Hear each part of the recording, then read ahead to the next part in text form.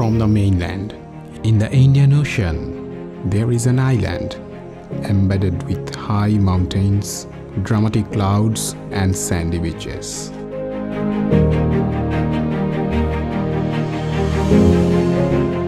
Lush green forests drench in rain. This combination of varied landscape and isolation from mainland created enormous and endemic diversity of unique animals.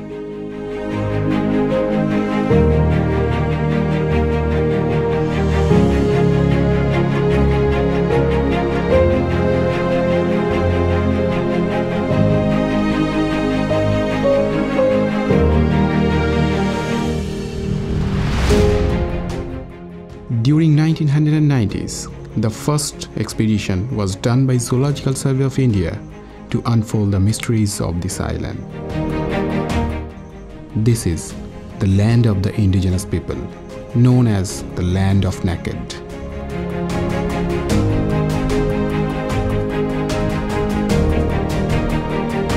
This is the Great Nicobar.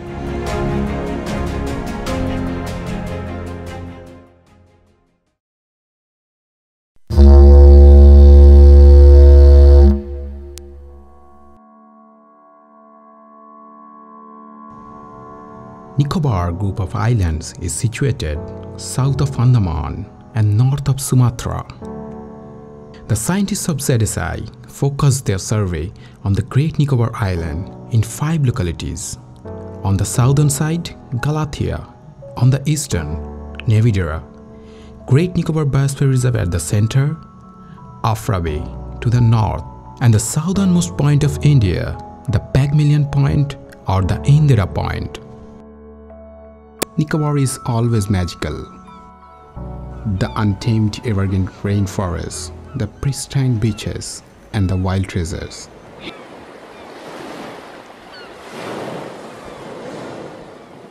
Almost three decades after the first expedition, the scientists of Zoological Survey of India set their feet on Nicobar, skilled with modern equipments to explore the island and its rich faunal wealth in deeper way.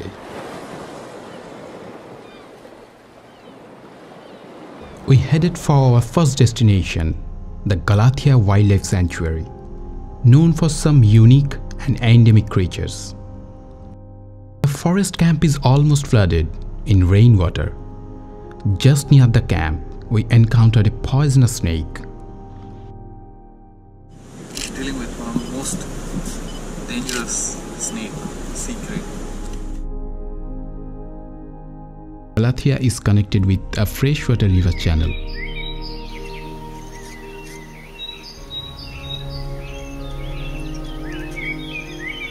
Just beside the river, there is a cave, a home of a bat, Nicobar leaf-nosed bat. This nocturnal species lives in groups, in shaded areas, mainly in caves or dens, and communicate through echolocation. Sun goes down, darkness envelops the island. The team amidst low tide head towards the beach to witness one of the rarest and unique creature on earth.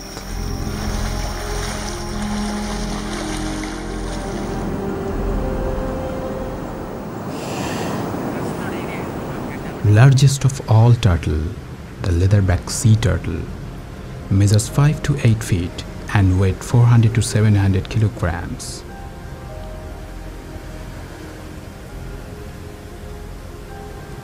Galathea is one of the important nesting ground of leatherback turtle in the world. In a single night, 10 to 15 turtles have been seen coming to the beach to lay eggs. The turtles return to their world in the deep sea, leaving behind the fate of its unborn offsprings and a trail of flipper marks.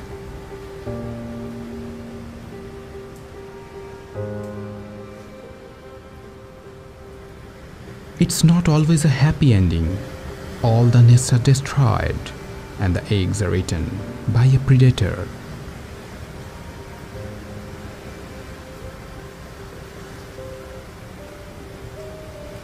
A Nicobar wild pig.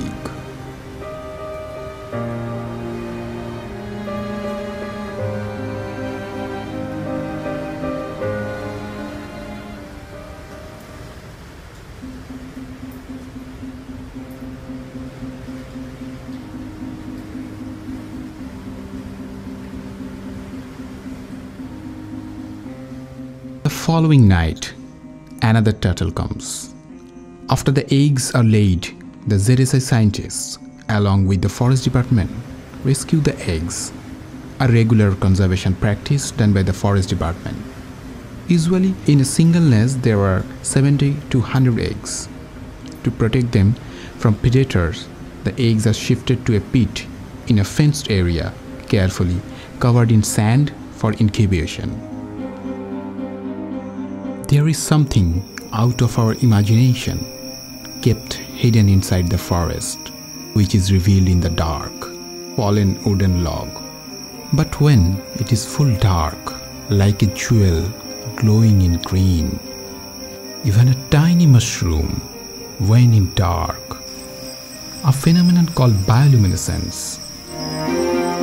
When UV light touched the ground, a scorpion shining in blue rays of UV unique phenomenon, giving the feeling of being in the alien world.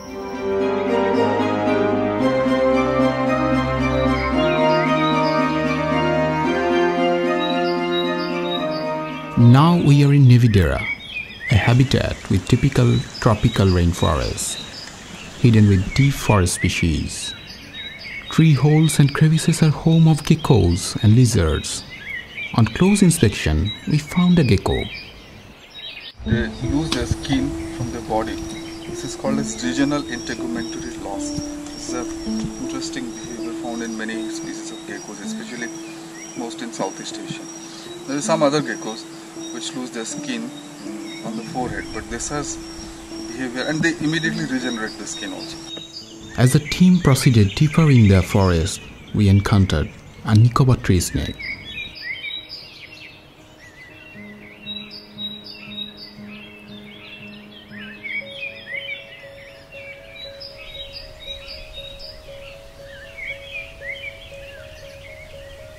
As we move further, on a fallen tree, there is a reticulated python.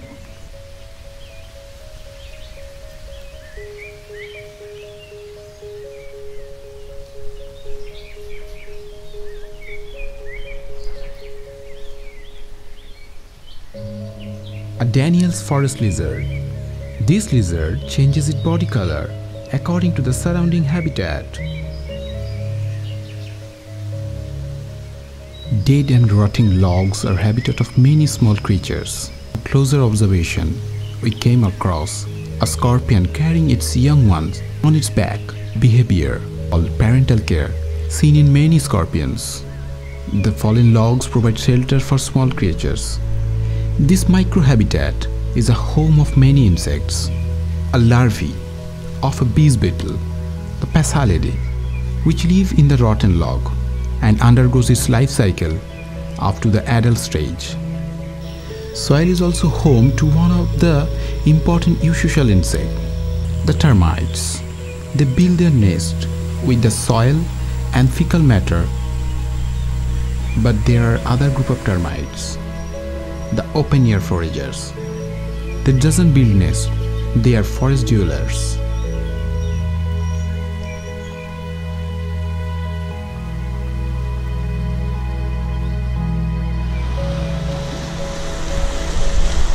It is the time to return. High tide poses a great challenge for the team. But the team braving the rough conditions set further towards the next destinations.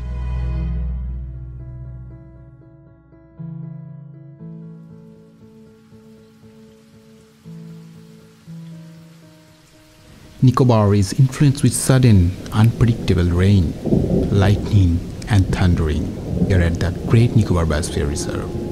A pair of white-bellied sea eagle headed high on the top branch of the dead tree. A pair of pied imperial pigeon is seen cleaning its feathers.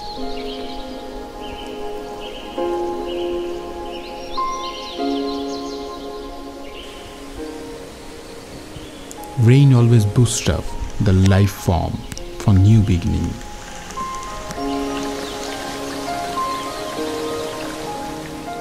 The tiny shell creature, the mollusk, they get active for proliferation of life. We are here for something very rare and unique. We enter deeper into the forest. On the ground, in the leaf litters, there are many parasitic hirudines, which pose difficulties for the team, the leeches.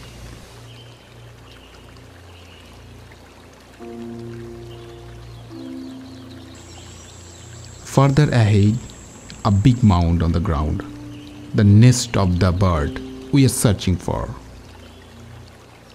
After relentless search, finally we spotted the rarest forest bird of Nicobar. The Nicobar megapod.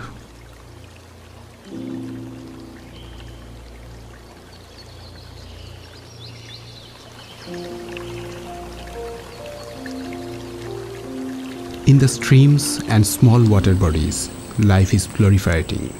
A carnivorous insect of hemipteran group, the water striders, also known as aquatic bug.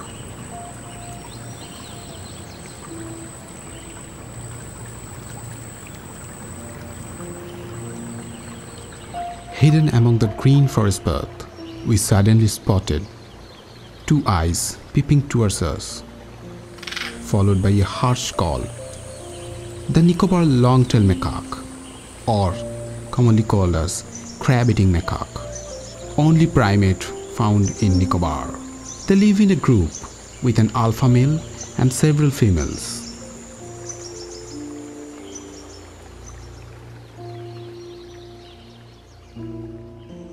On the other part of the forest, another group of ZSI scientists are busy understanding the diverse world of insects. Collection of insect samples is essential for its taxonomic identification. Sweeping and netting are the best process of insect collection.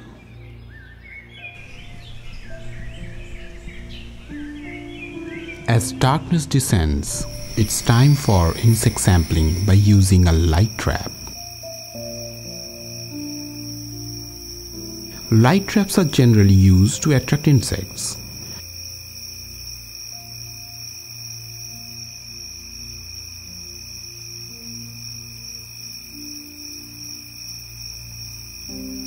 Then, representative samples are collected and preserved for further scientific studies.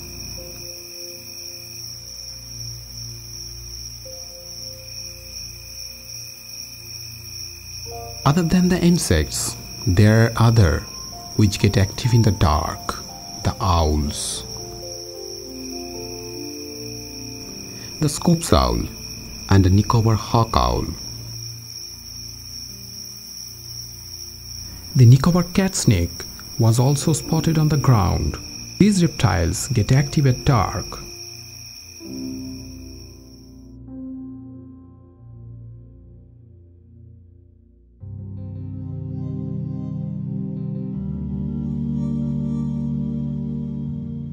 As time flies, we came to our next destination, the northernmost point of Great Nicobar, Afra Bay. It is a village inhabited by indigenous tribe, the Nicobaris. A traditional Nicobaris hut is made of wooden logs and leaves. They harvest rainwater as sweet water source. The small, slender boats are designed as engineering marvels a traditional Nicobarese boat. Nicobaris are fishermen and said to be the man of the seas. Their livelihood is chiefly dependent on sea fishes.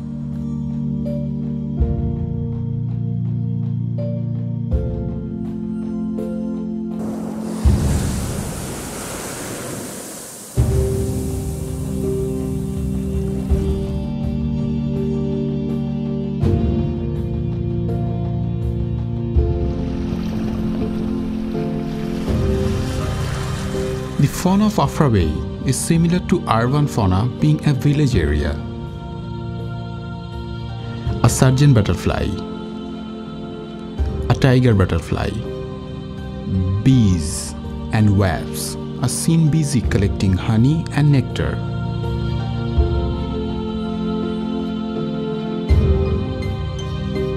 A crimson sunbird, an olive-back sunbird on a hibiscus tree.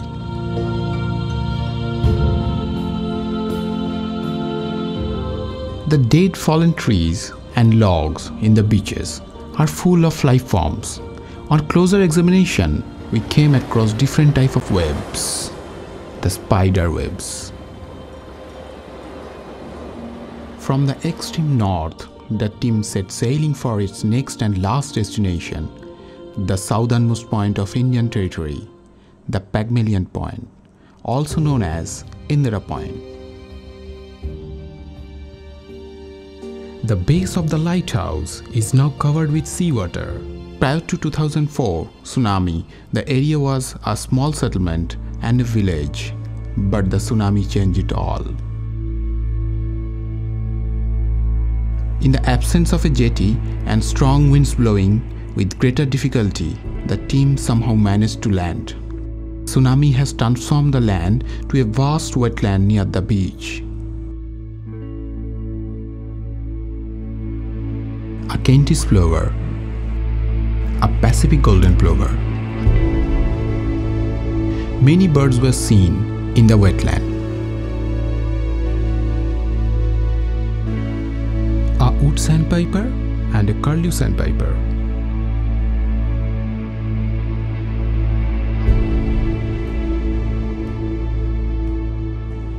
As we move further, another surprise was there a critically endangered species, a hawksbill turtle.